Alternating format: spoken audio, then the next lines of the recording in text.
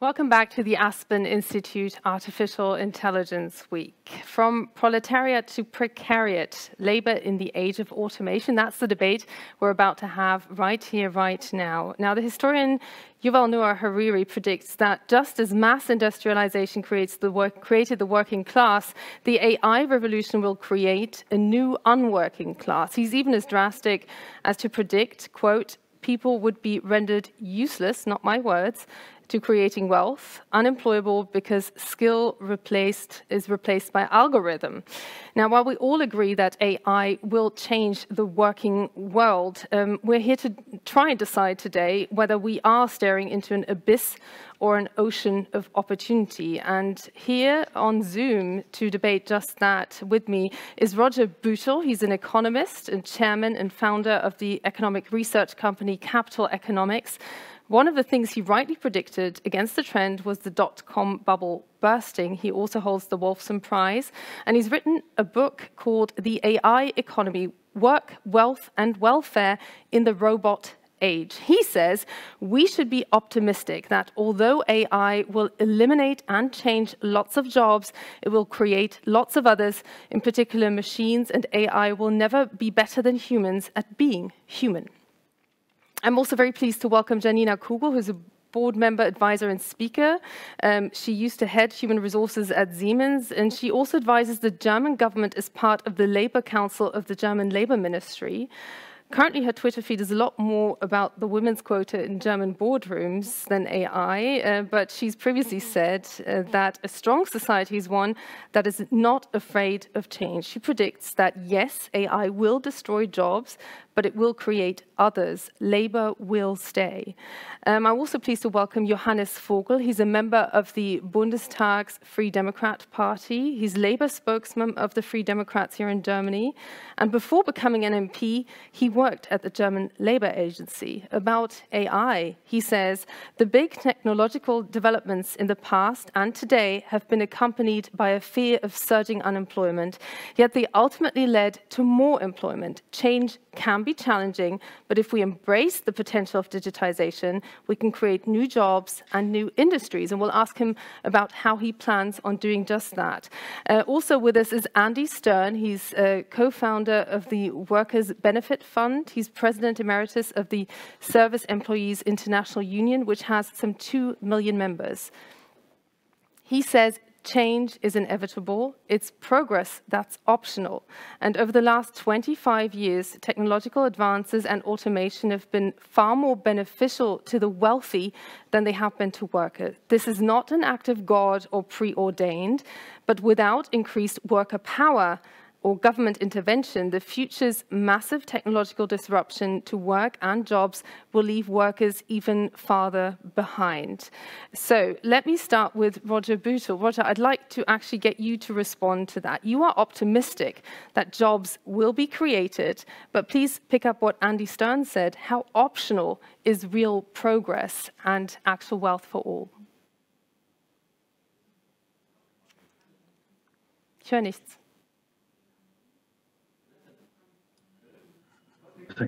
It could be true that the future could turn out to be extremely bleak. From an economic theoretical point of view, you can see circumstances under which um, there were there was effectively no demand for human skills or human activity, and large parts of the potential workforce were unemployed. That's possible.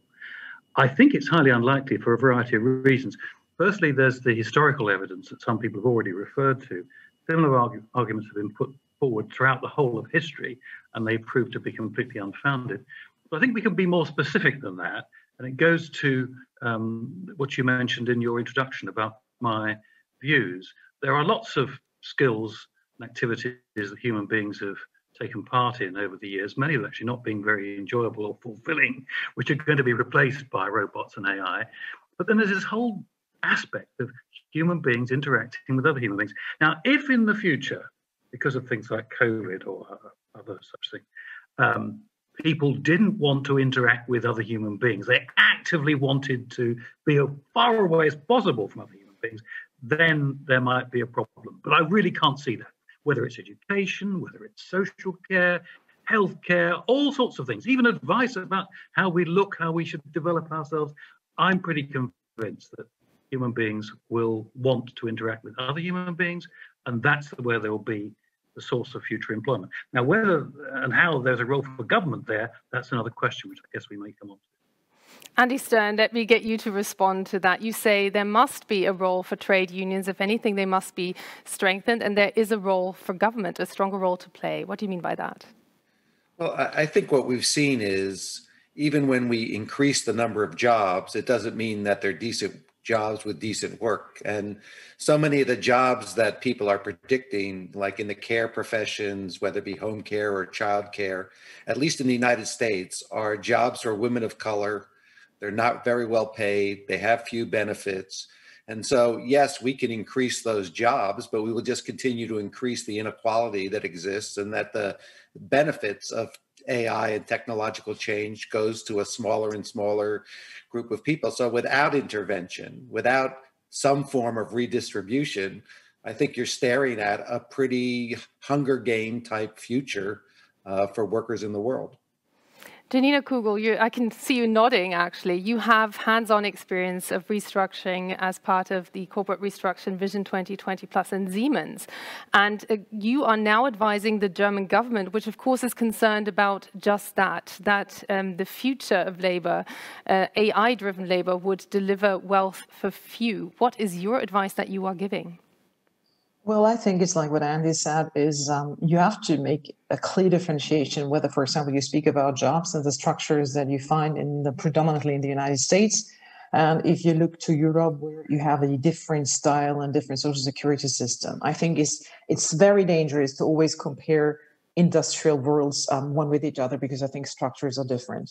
Nevertheless, I think is for the time being, everyone has always believed that the the task of upskilling and reskilling should lie in the responsibility of employers and employers only. And so, pretty much, um, that would actually mean is like once you have finished school or your primary education, it depends pretty much like on yourself and on your employer. But I think here comes exactly the point.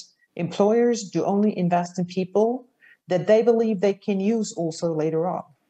And here comes the point in the massive change and disruption of technology the states and the government needs to take an active role in first um, creating transparency of what other jobs could actually come up and also you know what are the requested skills and qualifications you need.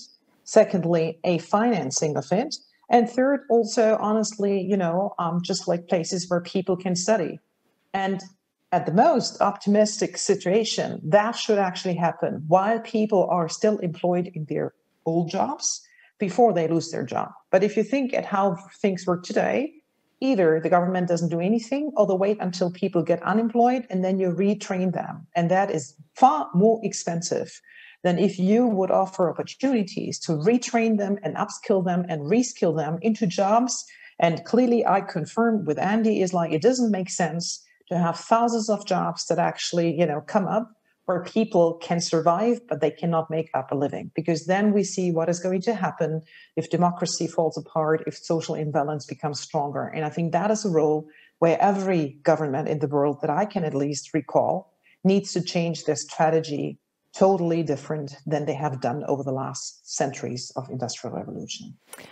Johannes Vogel from the Pro Business Free Democrats. Now, your party has uttered scathing criticism of the current corona budget, I'll just call it that right now, uh, because you feel that the status quo is being conserved way too far. Now, you yourself have been in charge in, in a previous uh, professional existence of retraining people to make them uh, fit for the next employment. At the same time, you say you're optimistic, particularly for aging societies, that if we embrace the potential of digitalization, we can create new jobs and new industries. Where does your optimism come come from? Well, uh, uh, well, I'm an optimist um, uh, in general, but I think if you if you look at the big transformations in the past, I mean, there, there, there always has been the situation that there there will be a lot of new jobs coming up if we are innovative and product, product if we're innovative enough and our productivity is high enough. But of course, the, the big question is how do we enable everybody, really everybody, to be a part of this uh, process. And so it is about education. Yes, we are a pro business party, but we also are a pro education party. And what I think is that Janina Kugel made the right point. What we need is like a whole second education system. In German, in the German language, the, the word ausgelernt is pretty important. I mean, normally you end your education after you finished your vocational training system, which is very successful in Germany, Germany, or you finished your university, and after that, um, the numbers shows the numbers we, we, we have like right now is that two thirds of the workforce are not regularly participating in further training, no reskilling, no upskilling, not on a regular basis. And I think that's the problem. We need a whole second education system, not only if people are unemployed, but before. And of course, that is a job for the companies within the companies. Of course, that is a job for um, the um, uh, the federal employment agencies to support that. Not only if people get unemployed, but already before. Um, and I think we thirdly need really new instruments. For example, we have a famous um, a, a, student support system called BAföG in Germany. And I think we need like a, a, whole new system. We, we brought up an idea to create a so-called midlife BAföG uh, so that you support, financially support everybody um, earning uh, less than the average income um, in, for example, being able to invest in their own re-education, reskilling, upskilling, um, and we need new instruments like that. And of course, this is an area where we need more state activity um, and more instruments. So it's not that pro-business free Democrats means we're against state activity. It depends on what state activity in which sector. So it's something like a student loan system that there is in Germany where people have to pay back parts or all depending on their yeah, parents' but, income. But only parts, and that's the point. I think we need a new support system where perhaps with loans, but not only with loans, especially for the lower income, uh, lower incomes, um, after university, you know, for the, the whole um, the, the whole two thirds or three quarters of your life uh, after you finished your first education. Andrew Stern, because since you're sitting in the US, isn't that exactly the, what would be debated as big state in the United States?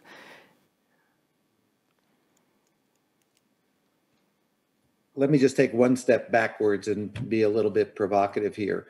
Um, you know, I think, and Janina's right, if you look at Germany, you know, you live in a different universe in terms of the, the role between business, government, and the state. And I would hate to hold you up as the rest the way the rest of the world works, because in most of the world, like the Industrial Revolution has decimated large numbers of industrial workers in the UK and the US.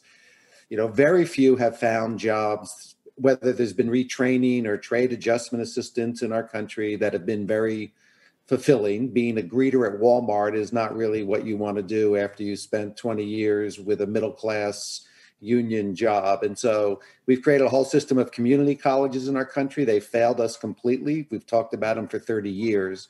So we have no model that I would say in most countries of the world where upskilling, reskilling, education is an answer to this problem, particularly for people in their middle ages who get displaced, as opposed to how do we train younger people, as we've seen with computers, who found jobs because they were familiar with digitization and, and technology right from the beginning, as opposed to their parents and grandparents who are very unfamiliar with it. So I, I think Germany's in a nice dream world because you can actually do these things, but the rest of the world is going to be overrun you know, by displacement, you know, by good well wishes of get yourself a job or a college education, which college kids in our country are underpaid and undervalued and doing work that is underskilled.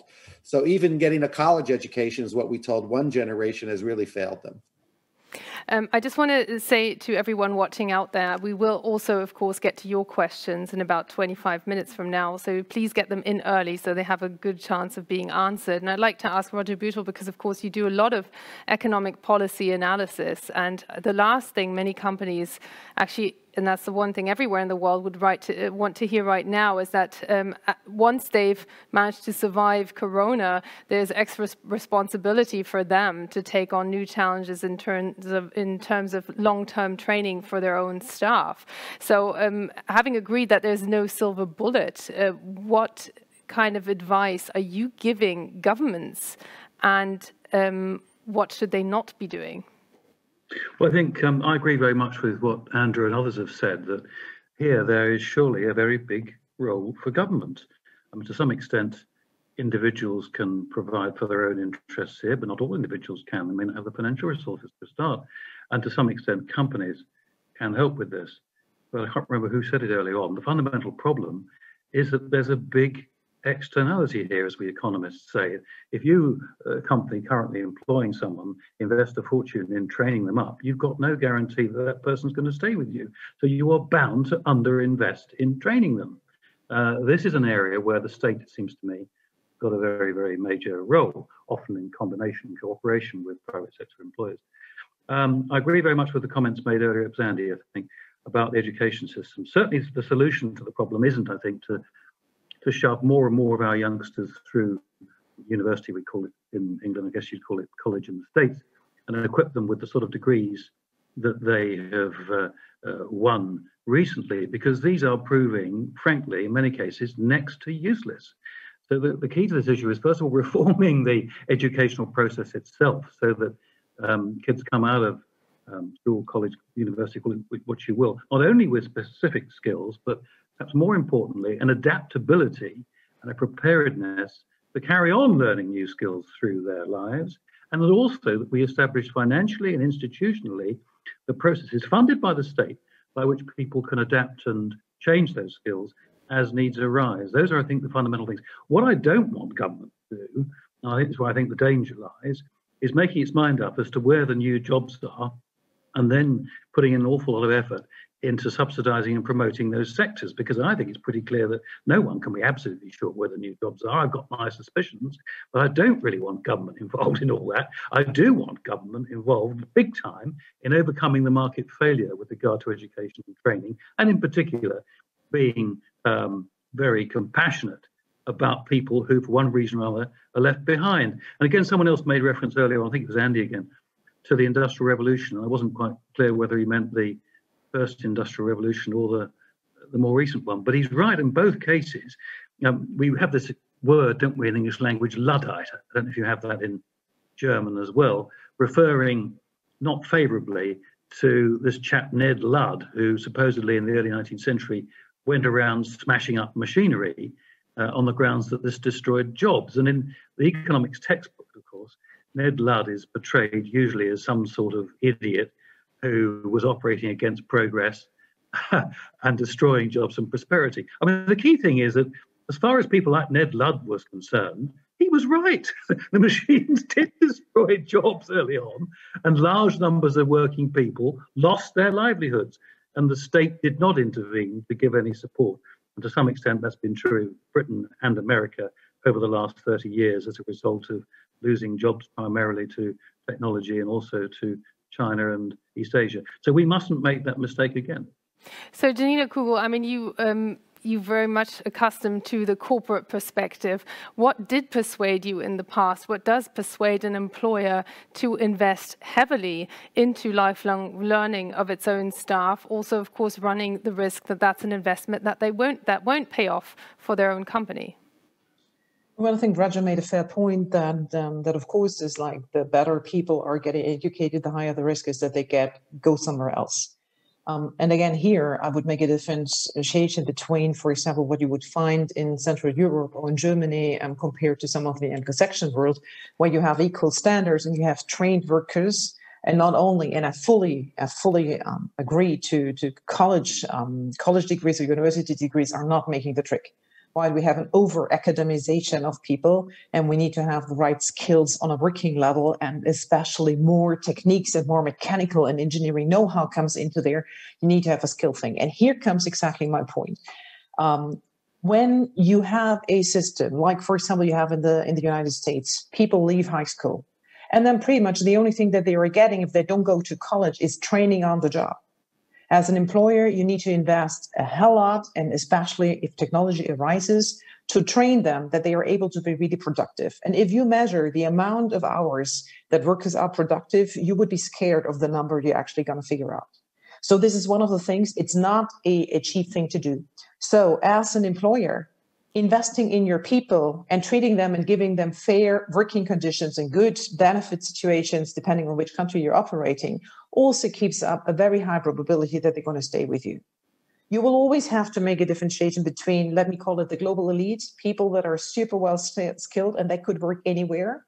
And I'm speaking not only about those with an academic background, welders, for example. Welders can choose wherever they want to work and they get awfully lot paid because they have something, they have a skill that is still very much demanded and no robot can actually like totally replace it to this point, And I personally don't believe it will. The other thing is some of the skills, um, digital skills, technical skills, um, you know how to how to interact in the new world of technology are skills that are highly demanded in every industry and there's only few people that do bring those skills along so as an employer even if you could fire everyone that you wanted, right? I mean, which is impossible in Germany. You will not be able to rehire the people, at least not for a fair deal, because they are requested anywhere and it's awfully expensive. So here I would always say is like retrain the people that you're having. And if you do that, just to give you a very practical example, if you, for example, work on a shop floor and you still have um, people that are carrying around um, the goods, you know, to bring them to the production belts, and then at some point you, for example, implement a fully automated logistic plant, still you need to know which part needs to be where, whenever. And if you take, and it doesn't take longer than six to 12 months, depending on the pre education of everyone, to retrain the people to use the logistic systems, they know everything already. The only thing that they don't know is instead of like moving carriages around, they have to sit on a computer and train everything there. And here comes what Andrew said is, of course, the younger generation is a little bit more likely to learn how to use computers, but the others also do have the know-how. So that also, I think, requires a rethinking of like whom you need to reskill. But coming back also to us individually, and I, for example, always ask the question to everyone if I have an audience, that always like say, how many times and how many hours do you invest every week or every month into learning new skills that you don't need for your job today. And it's interesting to figure out that there is a high amount of people age 40 and older that don't invest any time in there. So it's also us that need to stay employable. So for me, the responsibility is pretty much like also from a business perspective. If you don't invest in the people that you know, that you trust, and have been working for you, you will first of all not get them on the market. And even if you get them on the market, they will be more expensive than if you retrain them. So I think it is a rethinking also for companies because most of the companies see training as an investment, as a cost, and not as an investment into human resource that they need further on. Johannes Vogel, are you going to convey that uh, message to the big employers here in Germany? Or do you not have to? Uh, well, I, I, do it already all the time uh, when I when I have a conversation or a little chat with them about the uh, the topic. But I think Janina is um, hundred percent correct. I mean, that's just right. Um, but I, like I said before, as a politician and as somebody who who has worked before for a government agency, I definitely do see um, a, a, role for for state activity here, a large role for state activity here. I mean, we would all agree across the aisle, um, no matter what party, that one of the the, the most important jobs uh, the state and society has is uh, taking care of proper education. The thing is, how do we define education? Uh, when does it end? Does it end at the beginning of your working career, or is that one of the one of the ideas of the past that we have to overcome and i think we have to. So there is a role like i said before there is a role of course for um, the big companies and janina kugel laid out why it is uh, rational for them to do so but i also think that there is a large and growing role for the state and i say it as a liberal in the european sense but i really believe it here. Andrew stern so we, can we call off um, the the employer crisis that could be sparked through artificial intelligence? Can we call it off? Not at all.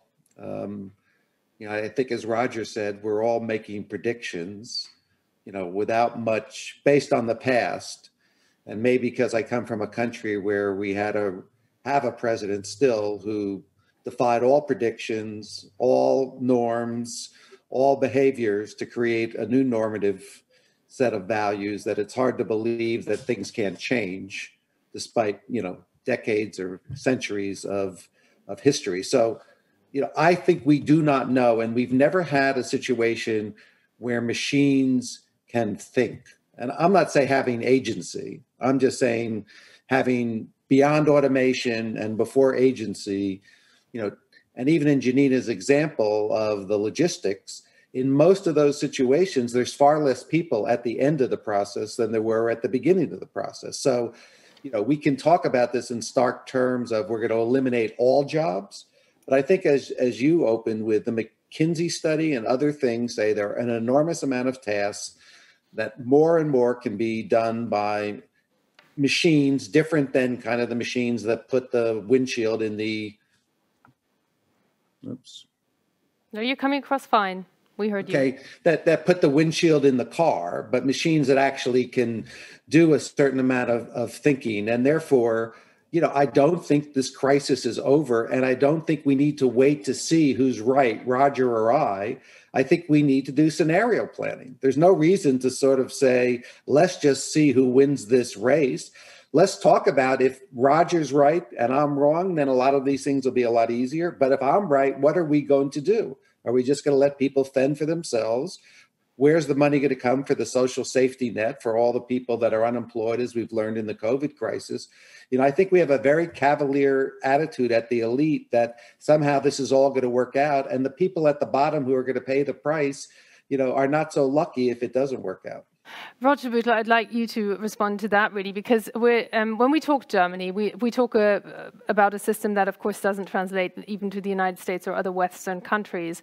But can you please um, just do a quick analysis for us? When we talk about jobs changing, jobs um, basically no longer existing and other jobs being created, can you do some kind of geographic prediction? Is this all going to take place within national boundaries, or isn't part of the problem that you have tens of thousands of jobs created in one corner of the world that are lost in a different corner. So you have very regional problems to a global trend. Well, I think this is going to be who knows, in deference to what Andrews has said, but I think it's going to be quite different from the uh, impact on jobs that occurred through globalization, which, as you say, rightly say, redistributed jobs all around the world. I think what we're likely to see actually is similar processes operating more or less everywhere, um, with one exception. And this goes to my worries about too much state intervention and certainly I worry about the state trying, trying to restrict the advances of AI. I think if we were to do that, then I could see the West losing a large number of jobs again to countries in the East, which didn't so restrict the advances of AI. And I think um, governments should be very conscious of the danger of over-regulating what happens with robots and AI, uh, and pretty much allowing them allowing the market to decide that and then concentrating on the issues we've been discussing. That's to say, training and retraining on the one hand, and uh, if necessary, generous provision for the losers from this process. On the other, uh, I mean, I agree with much of what Andrew has been saying, but one thing I wanted to take issue with him on um, the notion that you know, if we get uh, machines and AI doing large amounts of activity and the rich becoming richer and the poor becoming poorer, that somehow or other, where on earth is the money to come from for social programs? Well, money's there to come from precisely the first bit of that statement. That's to say, look, either you believe that AI and robots are going to increase productive potential or you don't. If they increase productive potential, then they also increase the potential to redistribute income the poorer members of society. Now, that's not necessarily going to happen automatically, and that's very much where I agree with Andrew. And of course, some countries, maybe the United States will be one of these, wouldn't do enough. But in principle, if this revolution adds to productive potential, then it adds to our potential to help people at the bottom. And that does demand that we uh, have the, the right institutions and the right policies. But the potential is, in my mind, definitely there. Johannes Vogel, as a German MP, I just had Saskia Esken a short while ago, the um, co-head of the Social Democrat Party here in Germany, telling me, well, that is actually a good thing if we all work a bit less and um, there's the income still being produced. It's a question of distribution. Do you agree? Is that where you should, or is that where the FDP is making proposals?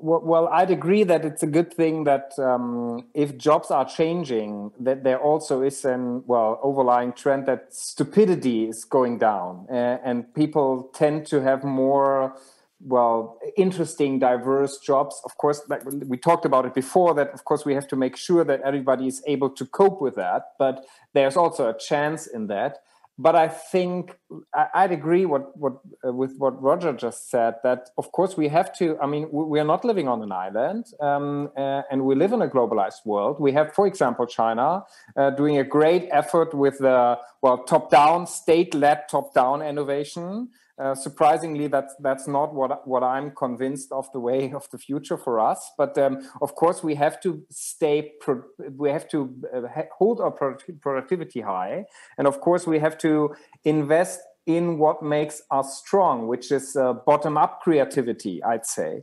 Uh, but if we just uh, well getting lazy and working less, I don't think that's that's going to happen, and that's not how we we solve the um, the transformations of the past. For example, I, I remember the debates, I was younger, but of course I read a lot, lot, about it. And I remember the 90s where we had the debates about the industrial robots. I mean, we had the debates in Germany as well that everybody is going down, leading to, uh, leading to disaster. I can remember the Spiegel, the, the, the news magazine Spiegel covers saying they well germany robots and and computers they will lead to mass unemployment and all that. And now and we decided and germany decided to have a much higher use of industrial robots to invest in innovativeness and uh, keeping our productivity high. And in the end, um, it worked. I mean, it, it doesn't lead to high unemployment. Uh, the, the, opposite happened. Of course, we had to do some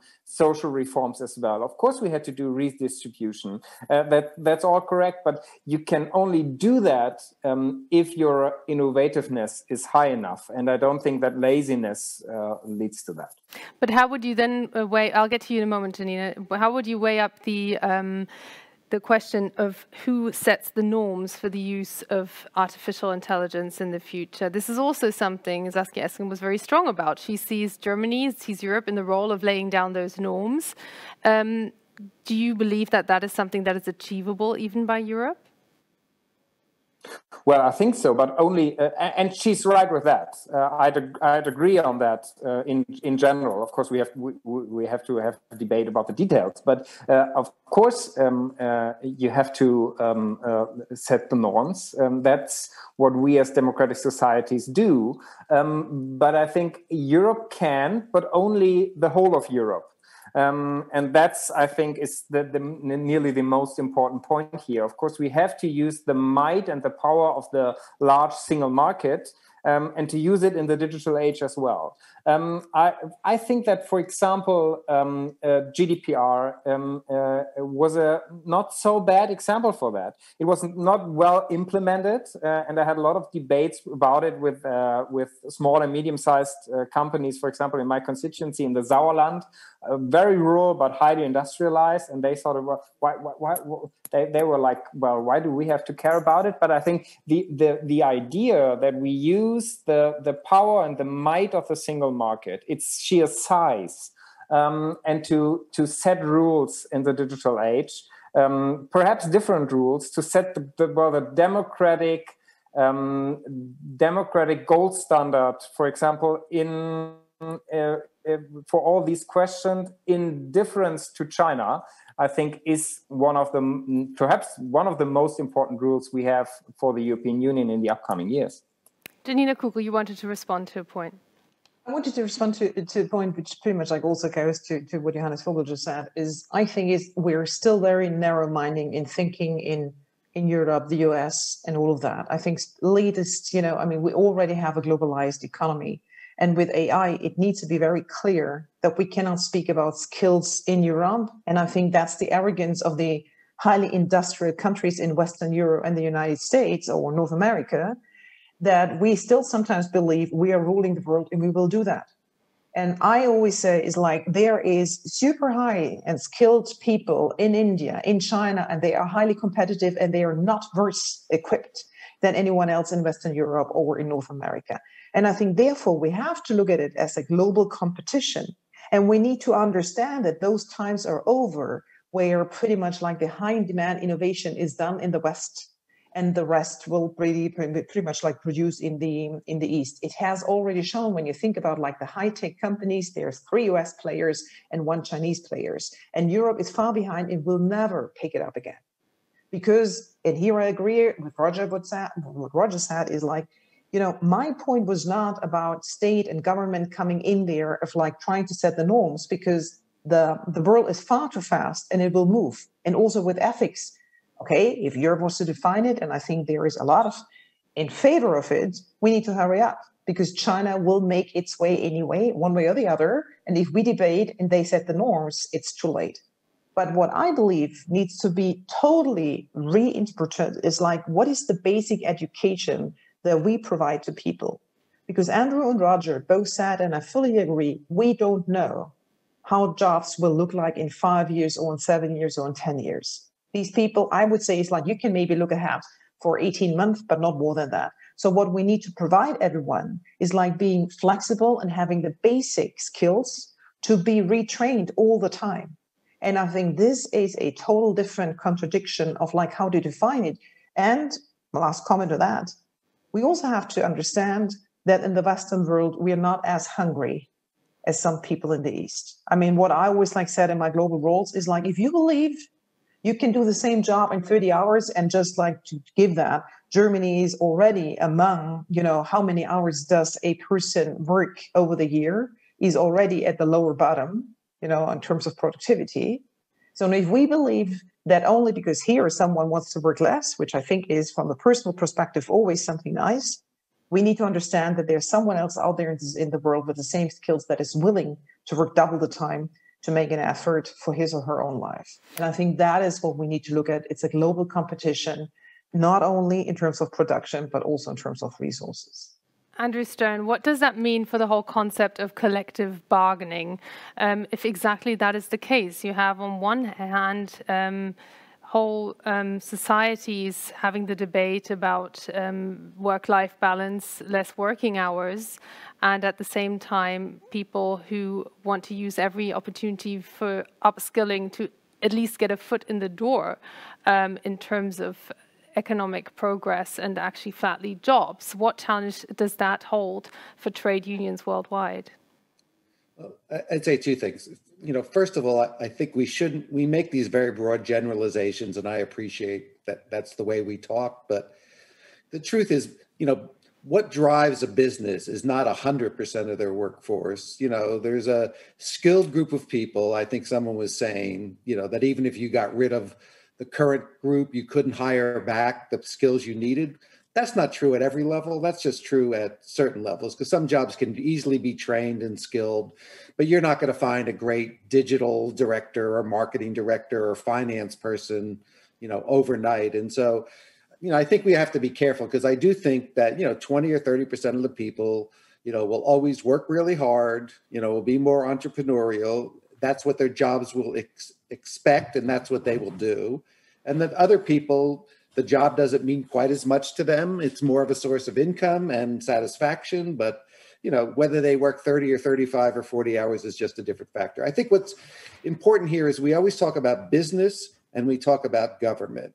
And particularly governments just kind of a brute force non-targeted you know actor in the space. You know we don't have sectoral thinking necessarily done by government. We don't have enterprise. We don't have geographic thinking. And you know one of the values of having workers and unions and others involved is when they're acting responsibly we can get a much more cooperative targeted way to solve problems. And in our country for instance you know if you give everyone you know paid sick leave you know it, at a basic level it's really significant. The question is you know what is the differentiation between an uber driver getting sick leave and how does that work? And how does that work for a care worker? And how does that work for an executive? You know government doesn't do a very good job differentiating. So i think there's an enormous role of trade unions if trade unions are willing collectively to as i started off by saying that understand that change is inevitable You know, we are not going to stop change. We are not Luddites. It's progress that we should be focused on. And progress does deal with education. And as Roger said, you know, redistribution and generous, you know, benefits for the people that are the losers who may be too old or not have the right abilities to do that. And so, you know, I, I think unions need to really not be the ones who are saying, you know, how do we regulate everything, but how do we regulate that workers do well going forward, whether the training happens or doesn't happen, they shouldn't pay the price. You know, if there is a failure, a systems failure by government or business. Uh, Roger, I'd like to take that back to you once again because um, is it then, will this happen? Will this precariat suddenly exist because governments are too slow, transition is too fast, beca just because it happens historically? um, in through artificial intelligence. Is um, Harari right who predicts that there will be people who are rendered, and I quote once again, not my words, useless to wealth creation, who actually are potential beneficiaries of a system that they no longer have a part in of creating wealth? Well, uh, we've been saying before, but I want to re-emphasize it. We just don't know, do we? And this makes government action particularly difficult, and I think particularly dangerous. We have to, to some extent, I think, roll with events. Uh, now, I'm actually rather more optimistic than some people who've been speaking on this issue because you used the word suddenly just then. I don't think it is going to be sudden at all. It's going to be gradual. Um, it's amazing. If you look back 10, 12 years ago at what people were saying then about what will have happened with regard to artificial intelligence. Yes, some of it has transpired, materialized, an awful lot of it hasn't. I, I think we're going to see that uh, we are going to have time to develop new policies and approaches. In that regard, um, what's been said and debated a moment ago about leisure is, I think, tremendously important. I don't think it's right to characterize the idea of people spending more of their life at leisure than working as being lazy. And nor do I think that this opportunity uh, to take that choice means that you're, as it were, losing out in the global competition against China and Asia.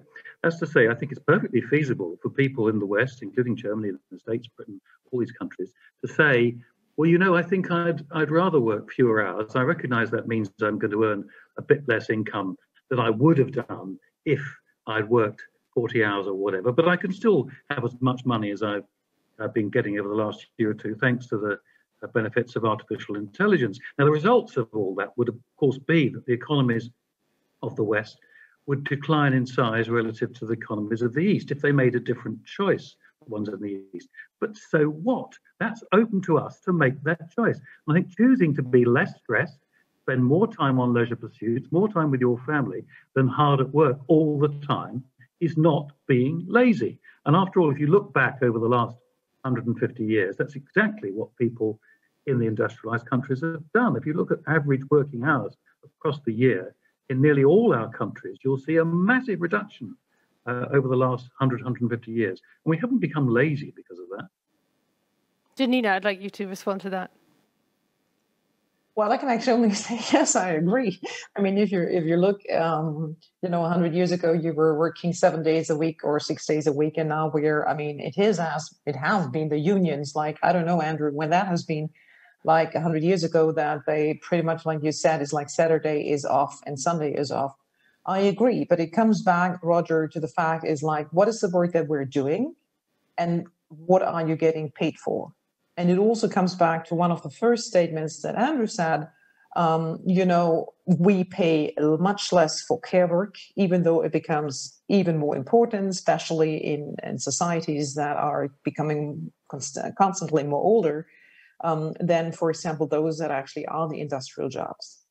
My pledge will always be that I think is this is another I don't want to call it industrial revolution, but it is to a certain extent. And I think we have to let go from everything that we have done so far. I mean, not let go from everything, but we have to really think in some reforms and not, you know, believe in, in everything that we did in the industrial revolution, where you pretty much like had jobs from eight to five and where you could measure the time. With all of the flexibility, we need new norms, we need new regulations, and we need new ways of thinking.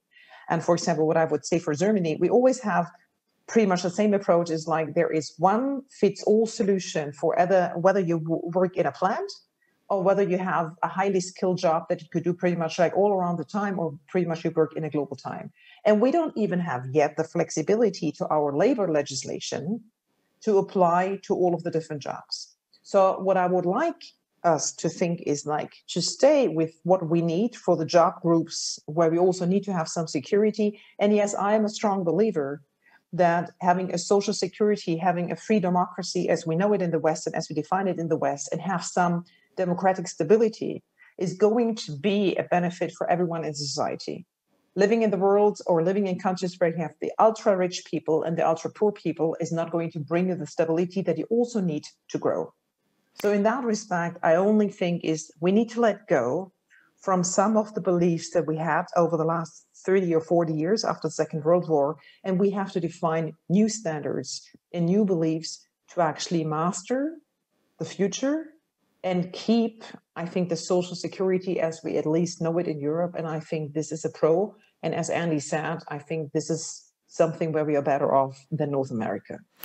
Johannes Vogel, because you're a lawmaker, I would like you to uh, respond uh, to that particular point when it comes to systemic reevaluation of who delivers stability in Germany, um, who delivers actually stable conditions for a democracy. Because at the end of the day, and we're not going to get too deep into that, but we are in a system competition between China and the West in terms of being able to deliver. We've seen this in the pandemic, which is a, a particular point in case, but of which certainties would you be willing to let go? Care workers were mentioned here. They're actually demonstrating outside the German health ministry today because they've been told a lot of times that they are system relevant and yet they are low uh, earners here in Germany. So, what needs to be reassessed in the cold light of day and what is needed in the future and which skill sets cannot be replaced through artificial intelligence? Well, good question, but a broad question. Um, first of all, I, I, would like to add uh, or uh, add on what, what Roger just said. I don't think that we have a disagreement uh, there. Uh, my point was just that I think we have to to uh, keep in mind that, of course, it all is working if we as a society stay innovative and productive. The productivity is high enough. Of course, that's important. Um, and what what we learn in the pandemic, and of course in cri- where crisis crises shows the character, I think. And what we learn in the pandemic is. Um, we see some areas where, of course, we had, um, uh, well, I think the, the false priorities. Care workers is a good example. Uh, we had the debate for quite some years before um, but now I think it's it's finally obvious for everybody that of course we have to to bring up um, payment for for not only for care workers but also for um, medicine personnel um, uh, when it comes to ambulance drivers and all these kind of of jobs and important roles in our society. Uh, and I would also say that um, what Janina just said is correct, that we also see that a lot of the rules we had well are no longer fitting to the modern reality and that became obvious in the crisis as well for example i don't think that we have to to work um, like a day more in, uh, per week or something not at all but we already see we're already seeing that people uh, want to be more self-determined when to work and where to work. And we see that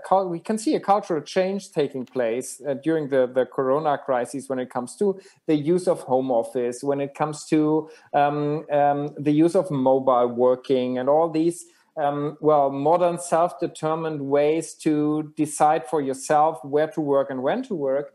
But we see that the rules, the laws are not fitting at all. I mean, what, what, is, what is taking place today in Germany is um, the um, um it's uh, for millions of people every day are um, uh, breaking the law no one cares about it because we're in a crisis. But of course, in a, a in a, um, a, rule of law society and a rule of law state, um, that's not going to work forever. And the, the, the the answer could only be that we modernize. Um, uh, I think the laws we have here. For example, when it comes to um, the labor regulations. Um, but I would also like for one minute to add, uh, something what Janina Kugel said in the statement before, which is um, uh, we, we, we have a lot, uh, uh, which is who is the West these days? Um, you asked before who's setting the rules when it comes to AI regulation, for example. And what we can see, of course, that we have fundamental disagreements when it comes to ethical questions uh, to China or the, the Communist Party of China. Um, uh, and the, the, the, the question is who is responding? Is it Europe? Is it Europe and the US? Or should we define the West uh, defined as democratic, free societies um, in the Pacific century um, on a global level? Do we have enough cooperation um, when it comes to the free nations of Asia? Do we can't we shouldn't we set the the rules when it comes to ethic regulation of AI, when it comes to trade, investment?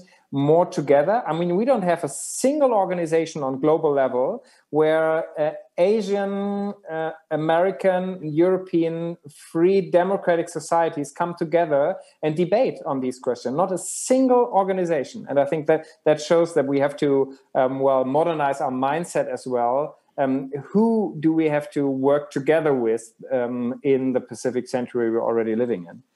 Andrew Stern, I would like to uh, pose a question to you, which is coming from the audience watching uh, us here. Populist parties have become a big problem on both sides of the Atlantic because mega trends such as globalization have created groups of winners and groups of losers. How do we make sure that we take the whole society along um, with the next major trend? I think AI is meant by that. So I, I, think people are exactly right. I mean, it's odd that in our country, the Democratic Party you know, which used to be the party of the workers, is now much more the party of the college educated.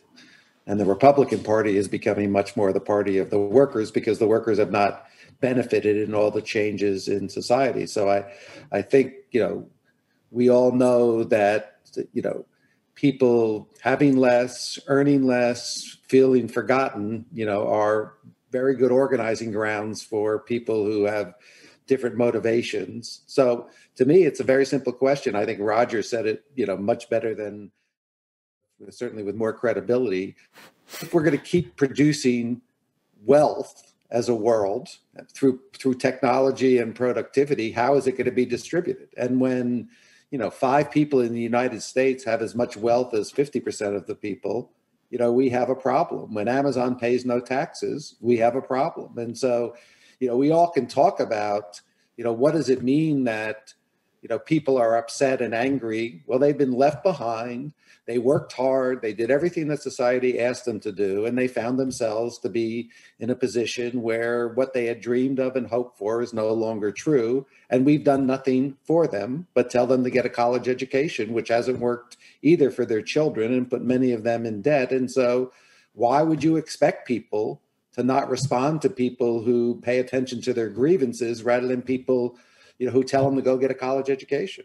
That brings us actually to a very hands-on question, clearly uh, aimed towards uh, Janina Kugel. Um, what would you recommend your children or grandchildren to study or train in now, uh, right now? In other words, which professions will be the next to be made obsolete, and which fields will become more important in the future? Welding, I understand. Welding would be one. I mean, first of all, I have to say I'm worried that someone believes I already have grandchildren, but nevertheless, somebody was thinking that. very far into the future. and you know, recommendations to children about, um, you know, um, from from the parents is always a bad thing. What I would definitely recommend them is, um, first of all, I would always recommend that do something that that you enjoy doing because I think whatever we do, um, you know, we spend a lot of it but keep that mindset open that you have to relearn and uh, learn new things constantly. And I think this is for me the the only good thing to say because if I would now give a recommendation, what are the jobs that are missing today? I mean, we have seen that over the last 30 decades or like three decades as well. I mean, you give a recommendation 10 years later, you're not searching for those people anymore. So I think what we need to understand is like you start in one job, that is not going to be the job that you retire. Um, and secondly, just to really come back, and maybe that is again a very, um, what should I say, a very privileged statement, but nevertheless, I think we need to understand that the ambiguity of the world is inc- is going to increase, and therefore, I think we also need to have people that do understand that there is no simple answers to some of the big questions out there. So I think you need to have a thorough know-how also about what is going on to make the right judgments. That will be my recommendations. And I would hope and I would be very proud if I could give the the answer. But I think Roger, Andy, and we every one of us said is like there is not the one thing what we can predict the future. And so I think is stay open and be ready to to learn constantly. Roger, one more question with begging you to give us a very short answer to a complex question. One of the recommendations of the ILO Global Commission on the Future of Work was to guarantee social protection from birth to old age that supports people's needs throughout their lives. Is that realistic and how could it be implemented? You can make it a yes or no question. Is it realistic? You want a short answer? Hmm? You want a short answer? Yes, please. No. Thank you very much. Uh, I was, I was, I saw that one coming. Actually, that's why I knew it would be brief. Uh, thank you to Andrew Stern, Johannes Vogel, Roger Bootle, and Janina Kugel for joining us here today. And in a couple of minutes from now, I will be handing over to my colleague for this day, Zara Polak. She's an Aspen Young Leader. She's a trained archaeologist and anthropologist, but worked for the past seven years on tech startups. So she's living proof that you don't continue to do what you trained on already. Um, Sarah will um, have a conversation with Michael Betancourt on the cultural impacts of artificial intelligence. That coming up in just a couple of minutes from now. And to my whole panel, thank you so much for joining us today.